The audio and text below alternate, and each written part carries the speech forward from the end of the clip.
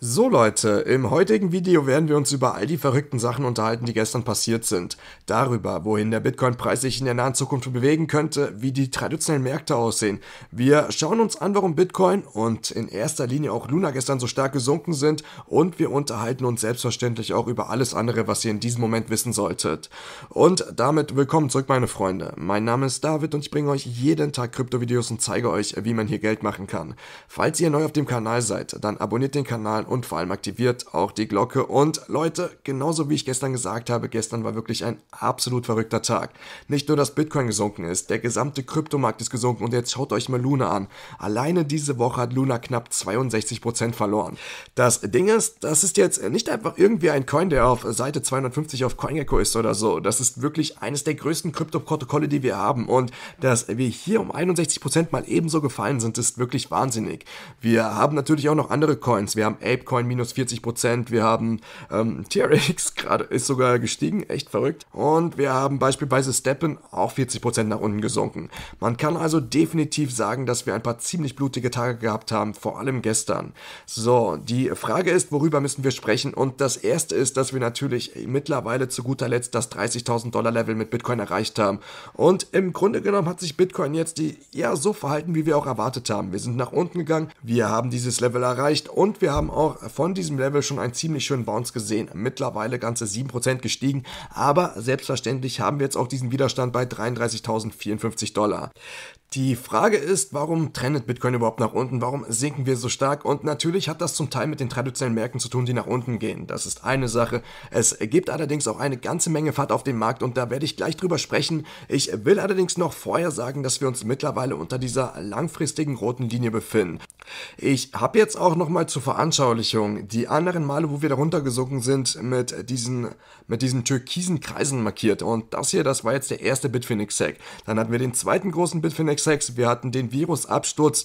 Und das Ding ist, ich habe euch gesagt, dass damit wir eine Kerze darunter schließen würden, damit wir wirklich unter diese rote Linie gehen, da war ich der Meinung, dass es schon höchstwahrscheinlich ein Black Swan-Event braucht, ähnlich wie das, was wir jetzt bei den anderen Gelegenheiten gesehen haben. Und Leute, für die, die das nicht mitbekommen haben, genau das ist jetzt gestern und heute auch passiert. Was ihr in diesem Moment wissen müsst, ist, dass eines der größten Protokolle Luna unter enormen Druck steht. Es wird von Leuten unter Druck gesetzt, die, ja, im Grunde genommen versuchen, das Projekt zu zerstören. Was ist jetzt passiert? Naja, Terra ist eine Art äh, Sicherheitsmechanismus für den Stablecoin UST. Also, UST ist eine der größten Stablecoins, die wir momentan haben, mit einer Marktkapitalisierung von 16 Milliarden Dollar.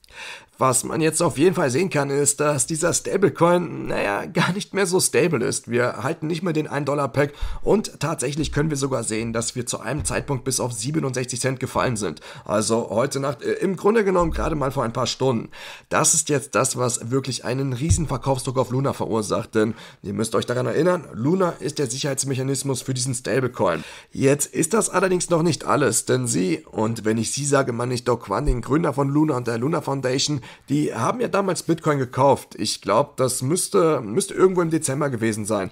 Da haben sie angefangen, kontinuierlich Bitcoin zu kaufen, um damit auch noch den Pack zu schützen. Denn klar, wenn man jetzt äh, UST mit etwas wie Luna schützt, da ist Luna natürlich noch viel, viel volatiler. Genau deshalb haben sie Bitcoin gekauft und das Ding ist, jetzt haben sie ihre Bitcoin-Wallets geleert. Das bedeutet, sie haben also ihre Bitcoin auf Exchanges wie Gemini, Binance und auch andere Exchanges gebracht, um damit dann wieder den Terra USD Preis zu stabilisieren. Das wiederum hat zu enormen Fahrt auf den Markt geführt, dass sie all diese Bitcoin auf einen Schlag loswerden wollten und glücklicherweise das, was sie gesagt haben, ist, dass mittlerweile tatsächlich nur ziemlich wenig davon ausgegeben wurde, aber dass es natürlich dazu verwendet wird, um USD zu kaufen, um diesen Pack zu schützen. Wir haben jetzt also ein paar Sachen machen. Einmal haben wir böswillige Akteure, die versuchen, dieses äh, Luna-Projekt zu zerstören. Es gibt eine ganze Menge FAT. Es äh, gibt jemand, der eine ganze Menge Luna Market gesellt hat. Und zwar wirklich genau zu dem Zeitpunkt, als die traditionellen Märkte nach unten gegangen sind. Als wir sowieso schon Panik auf den Markt gehabt haben, da haben sie unfassbar viel UST abgestoßen, um zu versuchen, den Pack zu beseitigen. Was, ja, was auch tatsächlich gelungen ist. Das äh, Problem an der ganzen Sache ist, dass Do Kwon und die Luna Foundation, wie sie gesagt haben, dass sie mehr Kapital Kapital einsetzen und zwar kontinuierlich. Die Frage, die sich jetzt natürlich stellt, ist, haben sie ihre ganzen Bitcoin verkauft und sie haben gesagt, dass sie das nicht gemacht haben, aber sie haben selbstverständlich versucht, den Pack zu stützen. Hier am Wochenende bei 97 Cent haben sie versucht, das Ganze zu stützen. Das hat jetzt nicht funktioniert. Wir sind nach unten gefallen. Dann haben sie das Ganze bei 94 Cent probiert. Auch das hat nicht funktioniert und wir sind tiefer gefallen. Und meiner Meinung nach, zu diesem Zeitpunkt müsste es eigentlich heißen, okay, Leute, lasst den Markt einfach sein Ding machen. Wenn die Leute UST verkaufen möchten, dann lasst die Leute UST verkaufen. Besser, man wartet eine Weile und benutzt dann die Bitcoin, Luna, um zu versuchen, den Pack wieder zu normalisieren. Denn jetzt gerade, wo wir so viel Panik auf den Markt haben und wie man jetzt auch bei Anchor sehen kann, was das Nummer 1 Protokoll ist, bei dem man UST verwendet, ähm, ja, ich glaube, vor ein paar Tagen hatten wir da noch Einlagen von locker 15 Milliarden Dollar. Und gestern, als ich das letzte Mal geguckt habe, waren wir bei 9 Milliarden Dollar. Jetzt gerade sind wir bei 6,5 Milliarden. Viele Leute ziehen also ihre UST ab und verkaufen das Ganze. Wenn sie das sowieso machen, lasst sie verkaufen und dann ist es besser, die Funds zu nutzen, um, ja, um dann wieder den Pack zu 1 Dollar zu bringen, wenn die Leute mit dem Verkaufen fertig sind. Weil für mich macht es momentan einfach keinen Sinn, hier unten bei 67 Cent zu verkaufen. Wir müssen einfach abwarten, wie sich das entwickelt, ob sich daraus vielleicht eine Todesspirale für Luna entwickelt, weil wenn die Leute Terror UST gegen Luna eintauschen, dann machen sie das natürlich höchstwahrscheinlich, um auch Luna zu verkaufen. Und das könnte dann in so eine Art Abwärtsspirale sich begeben. Und außerdem, wenn Luna sinkt, dann bedeutet das im Umkehrschluss auch, dass Terra Bitcoin verkaufen muss, was ja, deshalb haben sie auch die Bitcoin in die Exchanges transferiert haben. Und dann müssten sie Bitcoin zu einem viel niedrigen Preis verkaufen, was dann wieder dazu führt, dass Bitcoin weiter nach unten sinkt. Einfach weil die Leute erwarten, dass Bitcoin von Luna verkauft wird. Wir haben einfach riesiges Chaos momentan, aber eine Sache, die ich mit Sicherheit weiß, ist, wenn man in Panik handelt, wenn man viel zu emotional ist, dann könnte es an der Zeit sein, einfach mal einen Schritt zurückzutreten, die Dinge ihren Lauf nehmen zu lassen und abzuwarten, ob sich der Pack jetzt doch irgendwann wieder stabilisieren wird. Wenn ich eine Wette eingehen müsste, würde ich sagen, er wird irgendwann wieder stabilisiert sein, zumindest in der Nähe von 1 Dollar. Vielleicht nicht genau 1 Dollar, wie es jetzt vor einem Tag oder vor ein paar Tagen der Fall gewesen ist, aber ich denke, er wird zumindest mal viel näher an 1 Dollar liegen als, ich sag jetzt mal 90 Cent oder so.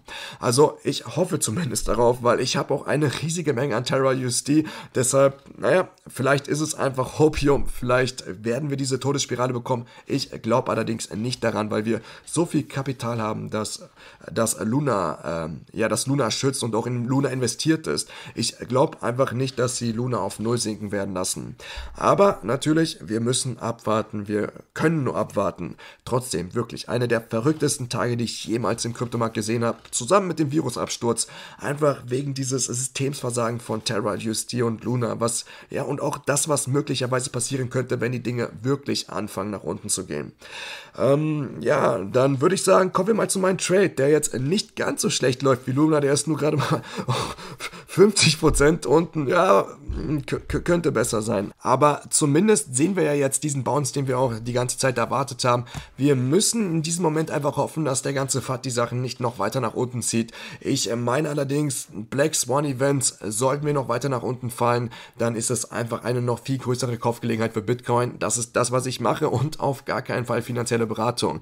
Man sollte hier definitiv ziemlich, ziemlich vorsichtig sein. Deshalb setzt nicht so hohe Hebel ein, macht keine Dummheiten.